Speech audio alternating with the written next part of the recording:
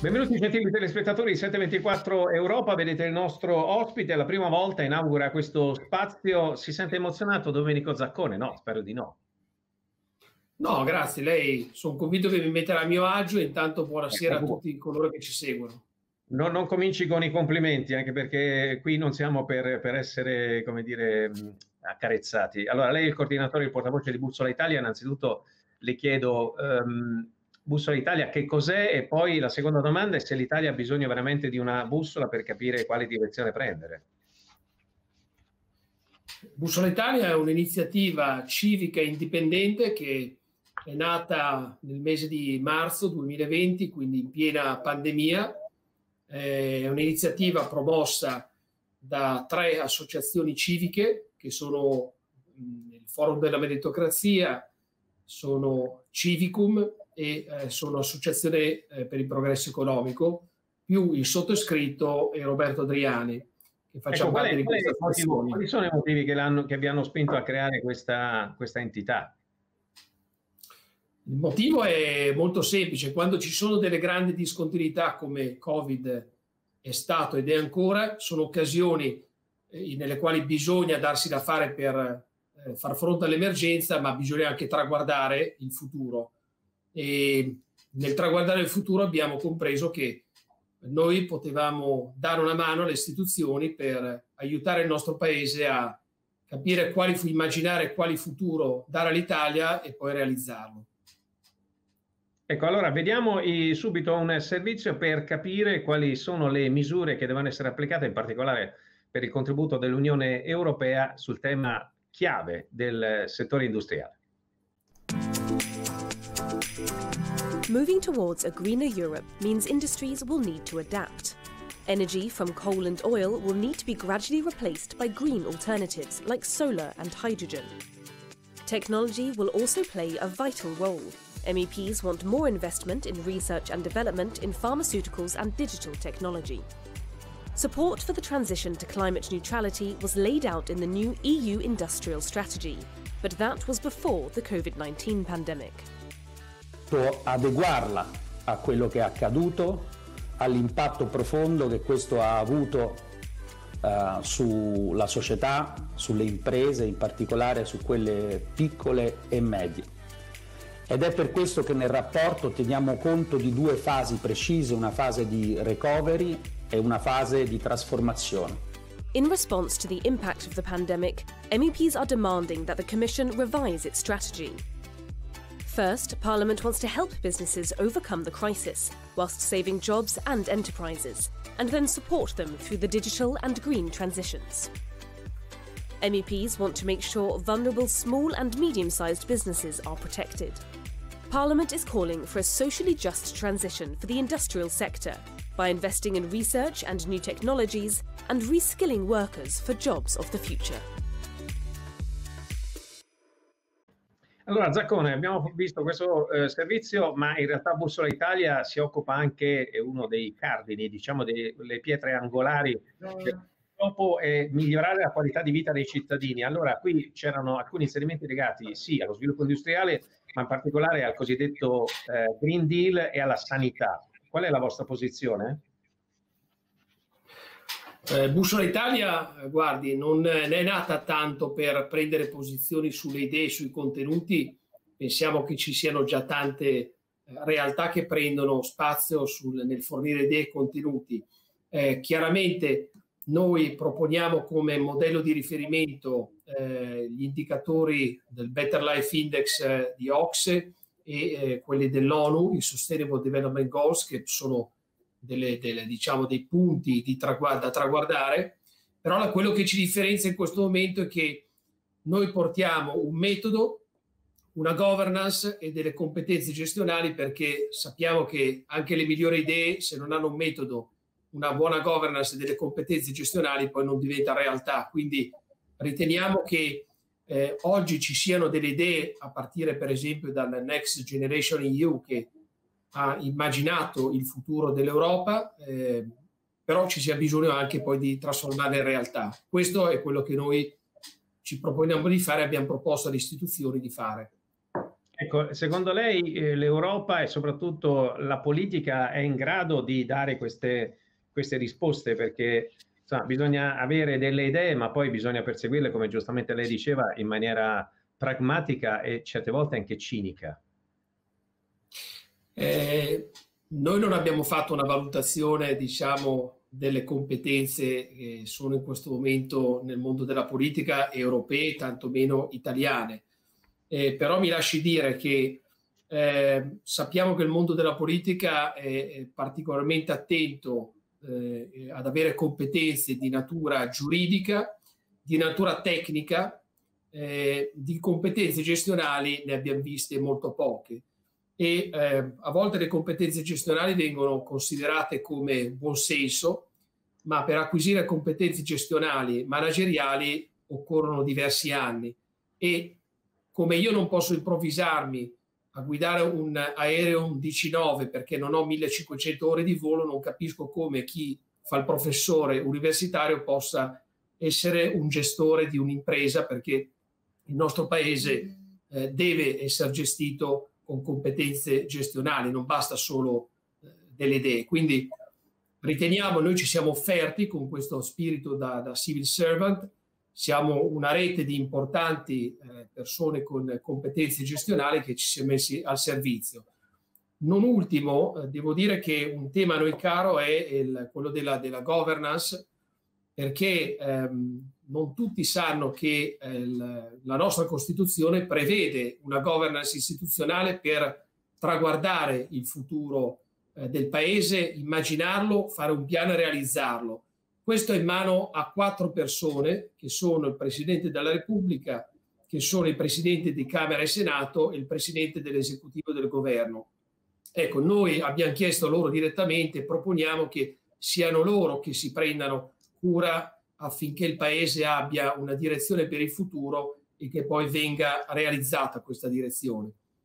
Senta, ehm, lei fra l'altro, eh, Bussola Italia, eh, ci tengono a dire che c'è un appuntamento con la storia eh, riferito ovviamente a quello che è il contrasto eh, di fronte alla crisi pandemica e al Covid-19. Un appuntamento con la storia che ovviamente deve essere onorato al meglio. Eh, voi giudicate sufficienti, largamente sufficienti, insufficienti o largamente insufficienti i prossimi passi e che cosa c'è da fare? Noi abbiamo eh, fatto la, due valutazioni finora del piano cosiddetto del recovery plan di versione di settembre e poi la versione diciamo dell'ultima del, del, del fine dicembre, quella che è uscita nelle scorse ore, l'abbiamo appena intravista. La nostra valutazione è di appena sufficiente e quindi chiaramente non è all'altezza, secondo noi, di questo momento storico che, che abbiamo. Eh, l'abbiamo fatta non tanto prendendo come punto di riferimento le risorse economiche coinvolte, come sono state allocate, ma sette criteri che noi utilizziamo.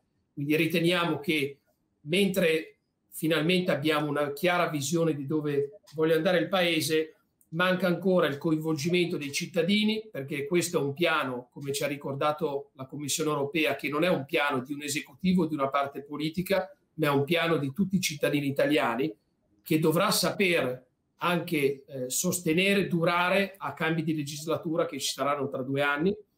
Ci aspettiamo invece che la qualità della vita venga maggiormente eh, inserita in questo piano eh, perché non possiamo continuare a vivere solo di indicatori economico-finanziari, ma ci sono anche degli impatti sulla qualità della vita che vogliamo che queste importanti risorse possano eh, sostenere. E poi sul tema delle competenze gestionali, ad oggi non c'è traccia, eh, viene proposto di coinvolgere diciamo quelle che vengono chiamate il corpo intermedio del paese, ma è un termine, devo dire, troppo generale e che non ehm, diciamo, chiama in gioco quelle che sono competenze gestionali eccellenti che abbiamo nel Paese.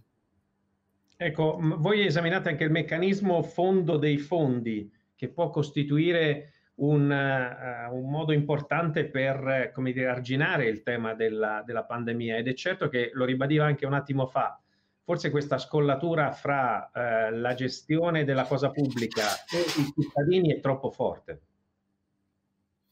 Ma eh, sì, allora intanto c'è un tema per cui dobbiamo far ritornare i cittadini ad essere protagonisti e sentirsi responsabili eh, del loro paese. E quindi questo diciamo che è un compito che noi abbiamo nei confronti dei cittadini perché non ci si può solo tirare indietro, commentare, non mettersi in gioco. E noi lo stiamo facendo in prima persona. Dall'altra parte le istituzioni chiaramente devono aprirsi e non mascherarsi dietro eh, difficoltà burocratiche o complessità burocratiche perché gli strumenti eh, poi si trovano. E questo del fondo dei fondi, per esempio, può essere uno degli strumenti da utilizzare dove i fondi pubblici possono essere collocati all'interno di veicoli eh, gestiti poi da privati, veicoli che vengono chiaramente supervisionati da chi, l'azionista pubblico, eh, inserisce soldi nel veicolo, ma poi all'interno del veicolo ci sono competenze gestionali privati che sanno come fare poi accadere le cose insieme all'amministrazione pubblica. E allora, a proposito dei servizi, c'è una novità che è stata appunto discussa all'interno del Parlamento europeo, quello in qualche modo di salvaguardare proprio la qualità dei lavoratori attraverso un sistema di disconnessione e soprattutto mm. con lo smart working di non sovrapposizione di quelli che sono gli obblighi ovviamente professionali e di lavoro con quelli che sono gli impegni privati. Vediamo il servizio. You are enjoying your family on a weekend, on a Saturday morning, and you receive an email. And even although you know that it's your private time, that it's your family time, that it's your rest time, you still feel that you are obliged to reply. Parliament wants workers' free time to be protected from work related calls, messages, or emails. MEPs are calling on the Commission to draw up rules regulating digital work tools and allowing employees to switch off when they're not on the clock. If the need for a right to disconnect without facing repercussions was already present, it's been underscored by the COVID 19 pandemic. The timing is more right today because the prevalence of teleworking, the prevalence of uh, smart working, flexi working is being felt more right now. In 2020, more than one in three Europeans began working from home. That means the boundaries between professional and private life get blurry. People working from home often work longer and more irregular hours. Always being reachable can affect work life balance and physical and mental health. Currently, no EU legislation explicitly states that Europeans have the right to disconnect without repercussion. MEPs want to put an end to the always on culture and have switching off recognised as a fundamental right.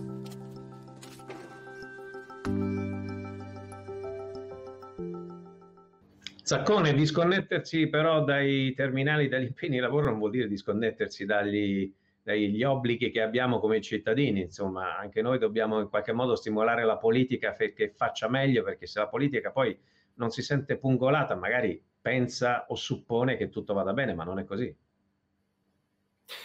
Sì, lei dice molto bene perché eh, c'è troppo questa cultura e pensiero del lo Stato e noi cittadini. Noi cittadini siamo lo Stato e quindi dobbiamo ritornare ad assumerci responsabilità ed essere coinvolti e consapevoli. E la consapevolezza non è solo dovuta da parte dello Stato nei confronti dei cittadini, ma anche deve essere anche reciproca. E devo dire che nelle grandi città dove molti di noi ormai vivono, questo non è semplice, ma se lei va in paesi come quelli dove sono nato io, che è un paese più o meno di 3.000 abitanti, si chiama Camporiure, in questi paesi ogni cittadino si sente responsabile del proprio luogo dove vive e della qualità del luogo dove vive e fa sentire la propria voce. Ecco, bisogna tornare a partecipare alle istituzioni il compito di rendere questa partecipazione fruibile, per cui accessibile le informazioni, trasparente che cosa si vuole fare, come lo si vuole fare. Ecco, penso che questo sia un modello di partecipazione al quale dobbiamo eh, ritornare, che dobbiamo recuperare e noi abbiamo anche questo compito come Bussola Italia. Senta, visto che lei viene da un territorio ricco, florido, ma inesorabilmente critico, Eh, lei si comporta come tutti i genovesi che ha il mugugno in questi, in questi frangenti oppure è ottimista sul futuro e sulle speranze che, come dire, si possa dare una risposta e ovviamente la speranza c'è sempre, ma poi bisogna trasformarla in realtà. Sì, il mugugno è tipico dei miei amici e compaesini liguri genovesi, eh, però lei sa bene che noi siamo persone che poi girano il mondo, io ho fatto così, quindi anch'io sono evoluto dal mugugno a diventare una persona che è andata a esplorare il giro per il mondo per lavoro e il mio mestiere è quello di raccogliere dei sogni, dare dei sogni e realizzarli, perché come dice lei, lamentarsi non serve e non basta, è importante dare dei sogni, dare un futuro, però l'importante è realizzarlo perché affinché il futuro non sia solo una chimera e non sia una delusione. Ecco, questo è il, un altro compito di Bussola Italia, quindi dare, aiutare a dare un futuro, una visione e poi realizzarla, perché attraverso la realizzazione poi di quello che uno immagina desidera ne deriva tanta motivazione e tanta voglia per poi rimettersi ancora in gioco. Questo è un meccanismo virtuoso che il nostro paese ha innescato solo nel 1947 con il famoso piano Marshall.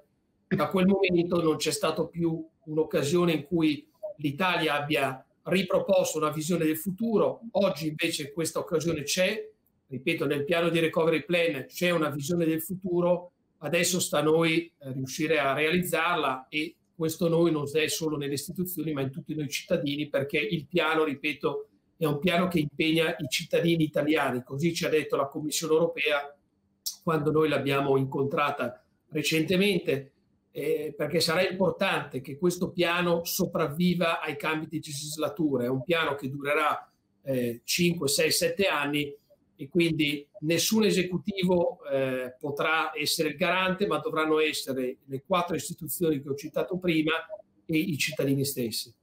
Allora, mi piace questa cosa perché abbiamo scoperto, fra l'altro, ce l'ha rivelato lei, essendo di Campo Ligure, insomma, che sta un po' a metà strada fra Genova e, e il Piemonte, eh, che come tutti sanno, quando tu ti incammini da uh, via 20 settembre, arrivi in piazza dei Ferrari, se vedi sulla sinistra quella bandiera della Superba, la vedi perché c'è grande consapevolezza nei genovesi e nei liguri di andare lontano, cioè voglio dire il padre eh, Cristoforo Colombo aveva un'idea e fra l'altro l'ha provate tutte per trovare la maniera da Madeira fino all'Islanda di andare nel minor tempo possibile. Quindi l'importante è avere l'idea, l'importante è avere un progetto, l'importante è avere la determinazione, il coraggio, la volontà e anche la fortuna, perché se il 2 di gennaio del 1492 i re cattolici non avessero, come dire, allontanato i mori con la battaglia di Granada, forse Cristoforo Colombo non avrebbe avuto i fondi per raggiungere lì. Diciamo che vede che gennaio del 1492 e questo periodo del 2021 forse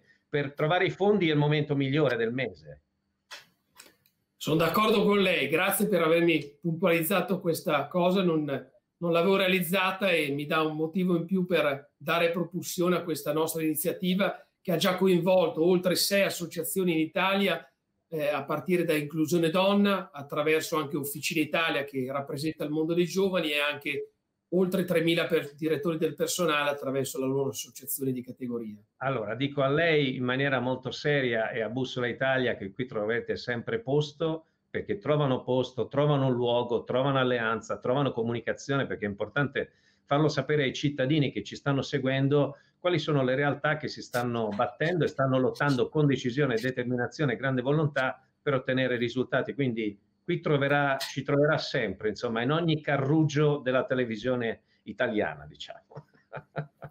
Io Bene. la ringrazio, ringrazio chi ci sta seguendo e se ci invitate ancora noi sicuramente saremo lieti di venire a trovarvi ancora per aggiornarvi. Molto volentieri, sarà fatto. Grazie per essere stato con noi. Fra poco vedremo il servizio invece sul tema della salute, gli investimenti nel settore della salute dell'Unione Europea. Grazie che ci ha seguito e ovviamente alla prossima edizione 724 Europa. Arrivederci. As the coronavirus pandemic began sweeping through Europe, Bergamo was one of the first cities to be inundated by COVID 19 cases. Its hospital and healthcare workers were stretched to breaking point.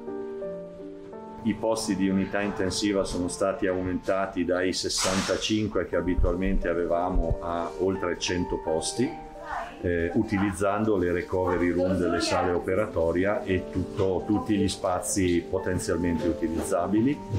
Dal punto di vista tecnico noi viaggiavamo abitualmente sui 150-160 litri di ossigeno per ora, eh, nel giro di una settimana siamo arrivati a 680 The pandemic highlighted weaknesses in healthcare systems across the EU.